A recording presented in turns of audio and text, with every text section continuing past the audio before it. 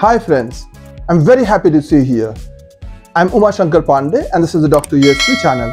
I host videos on media, communication, social theories and research on this channel.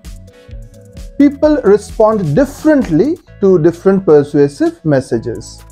Richard Petty and John Cacioppo proposed the elaboration likelihood model in the 1970s. Let us see elaboration likelihood model, the central and peripheral routes of persuasion in this video.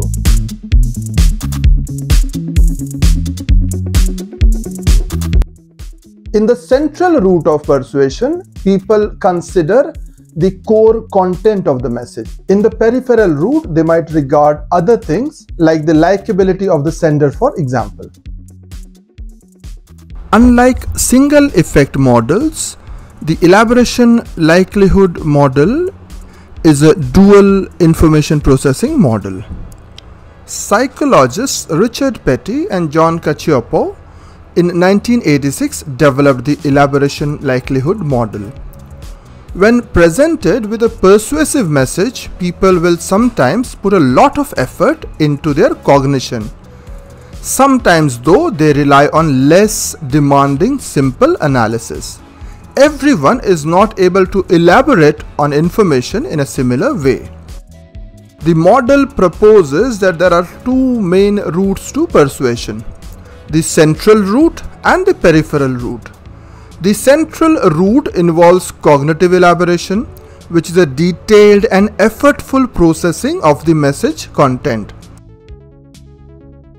The peripheral route on the other hand involves superficial processing of the message cues.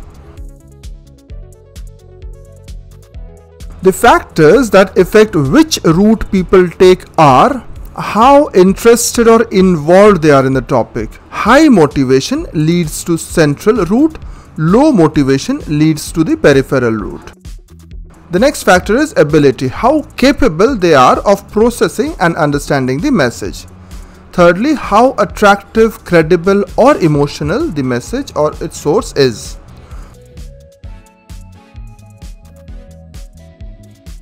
When individuals are motivated and able to engage in cognitive elaboration, they take the central route to persuasion.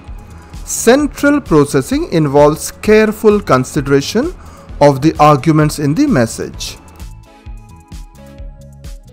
including evaluating the strength of the evidence, the credibility of the source, and the relevance of the message. When individuals lack motivation or ability to engage in cognitive elaboration, they are more likely to take the peripheral route to persuasion.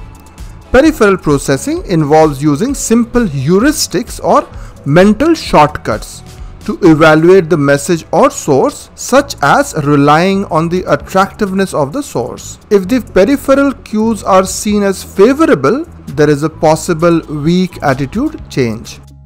Cacioppo and Petty use the term peripheral because the receiver looks to less central considerations. The credibility heuristic is the propensity to believe sources who have credibility.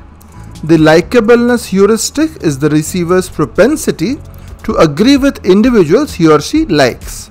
The consensus heuristic is where the receiver is impacted by what everyone else is doing.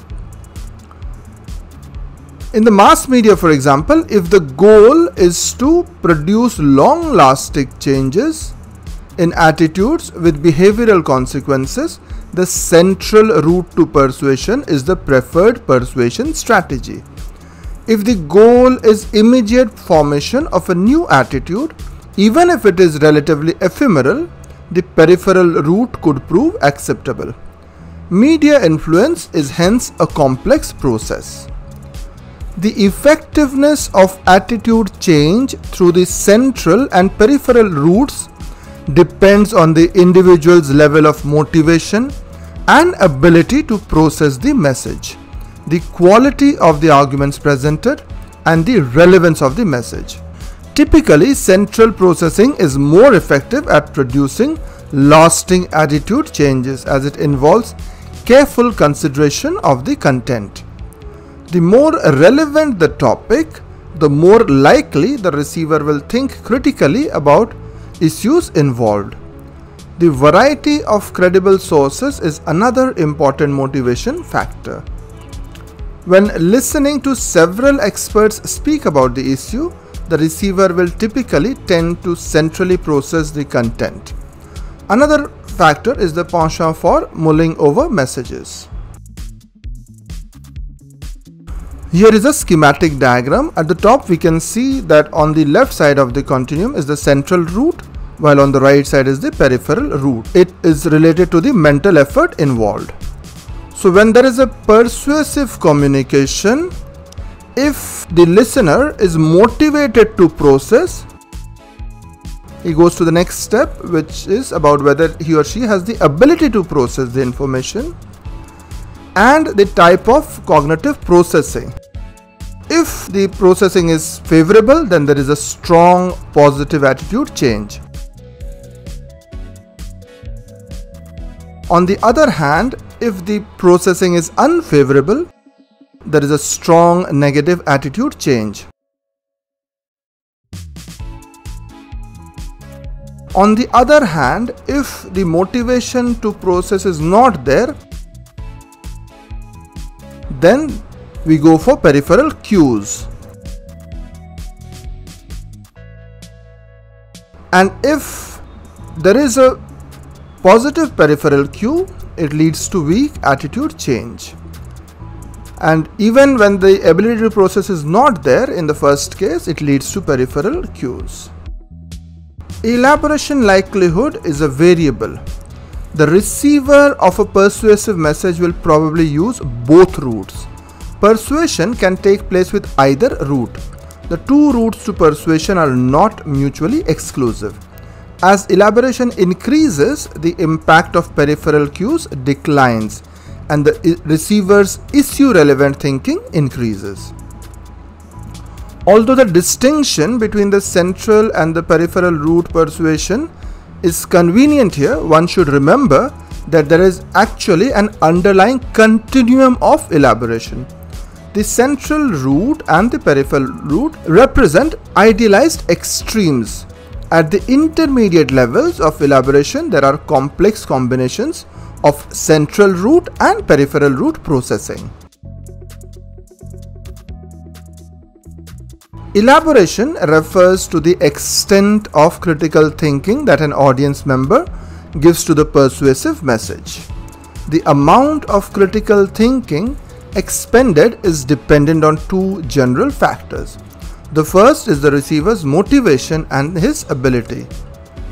Ability is being knowledgeable about the issue involved in the persuasive message and not being distracted from the message. Motivation is a critical factor in determining which route of processing an individual takes.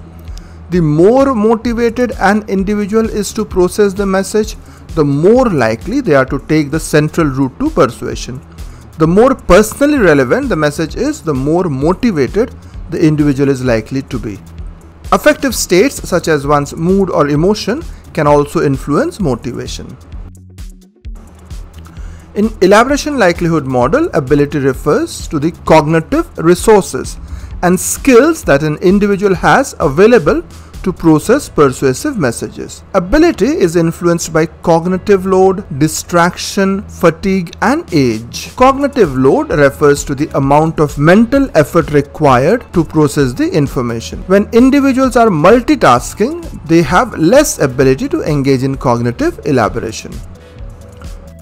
When people are highly motivated or involved in a topic, they are more likely to use peripheral cues when the arguments are weak or unconvincing. On the other hand, when people are lowly motivated or involved, they are more likely to use peripheral cues regardless of argument quality. A person is evaluating a new technology product that is endorsed by their favorite influencer. This is a peripheral route. Central route processing requires both high motivation and high ability while peripheral route processing can occur with either low motivation or low ability. This means that if people have high motivation but low ability, they may still rely on peripheral cues rather than central arguments. Similarly, if people have low motivation but high ability, they may also use peripheral cues rather than central arguments. Thanks for staying along friends. As always, it was a delight having you here. I'll be back with another video very soon. Till then, have a great time.